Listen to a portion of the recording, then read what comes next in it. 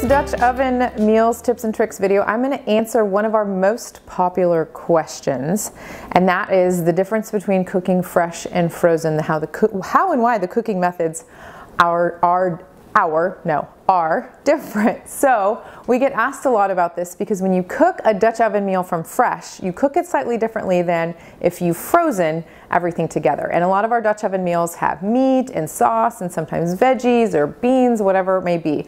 And so a lot of times what ends up happening is if it's a fresh meal, it might, if you're cooking it from fresh, meaning you haven't frozen any of the ingredients, you might add olive oil or butter and you might saute the, you might saute the, the chicken and then you'll add in the other ingredients ingredients and then let it finish simmering or bubbling or boiling depending on the meal. And so that's cooking it from fresh. Well, if we've put everything all together into a pack from frozen, we're really just going to put everything into the Dutch oven. So we'll skip the saute, the, the brown stage, if you will, where there might be oil in your browning meat browning the meat and then adding the other ingredients. And it's, it's still gonna turn out just as delicious because you have the meat sitting in these sauces and, and the, the flavors already been penetrating the meat and it's still gonna have a delicious end result. You're just gonna cook it slightly differently. So with some of our Dutch oven meals, these can just be uh, meals that we're gonna be, you know, braising and doing sauces with, or it's just some meat in a sauce, maybe with a veggie. It could be a chili, it could be a soup.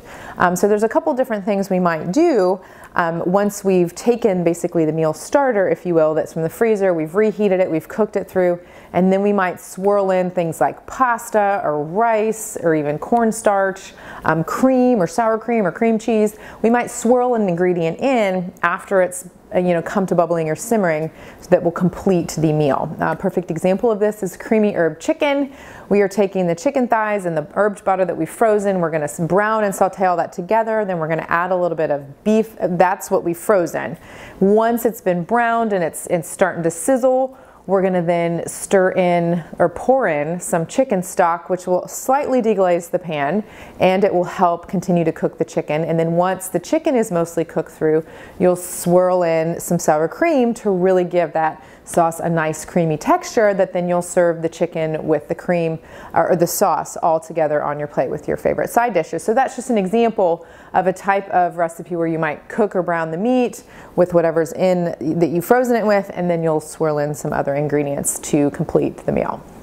So there's your answer on the fresh, frozen, and why the cooking directions are different. We try to be more clear under the freeze and thaw um, directions. If we do need to cook it slightly differently, we try to explain that there for you, but I hope this video is helpful, helping you understand kind of the differences between why fresh and frozen are cooked slightly differently, specifically with Dutch oven meals and some skillet meals as well. If you haven't yet checked out the other videos here on this page, be sure to do that. We're talking uh, just tips and tricks of different ways that meals get from freezer onto your table and some tips and tricks around the different cooking methods and cooking styles, um, what you need to thaw, what you don't need to thaw, how to thaw, things like that. So be sure to check out some of those other videos. It'll give you a really great sort of round round, round um, understanding of how getting meals from your freezer to table will work so that you can do it with ease and not have to stress about getting dinner onto your table.